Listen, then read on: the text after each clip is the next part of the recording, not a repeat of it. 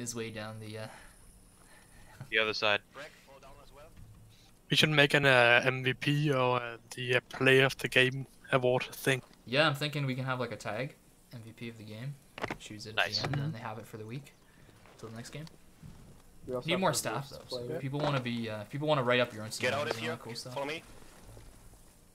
Oh, Johnson just bled out. he just bled out. Fall damage. Aw, you should get- wait, you- He broke. He broke his ankle. I'm, I'm dead. I wouldn't mind making a scenario. Look at his wouldn't mind. I, I think Johnson's. I think Johnson's got MVP for this one now.